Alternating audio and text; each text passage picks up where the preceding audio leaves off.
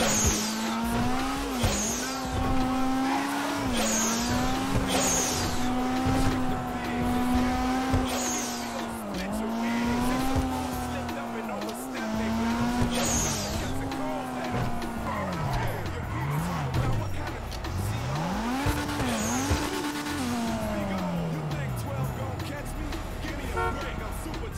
with a hideaway license plate. It seems they wanna fingerprint me and give me some years. They'll only get one finger